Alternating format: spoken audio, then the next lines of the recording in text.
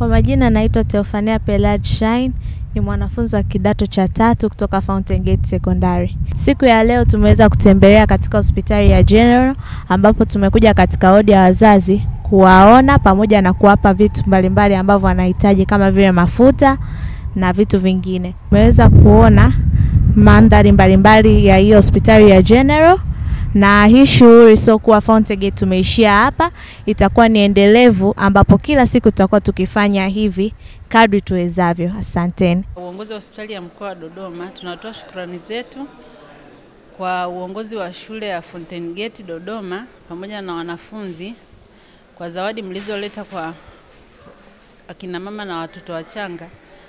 Mungu awabariki sana. Kwa kweli tumeguswa sana na msaada wenu kwa sababu wapo wahitaji humu ndani. Kuna baadhi ya kina mama wanakuja kujifungua na hawana vifaa kama sabuni, dawa za mswaki na mafuta ya kujipaka. Kwa hiyo msaada wenu umekuwa mchango mkubwa sana. Mungu awabariki na mtufikishe salamu zetu kwa mliowaacha. Asanteni.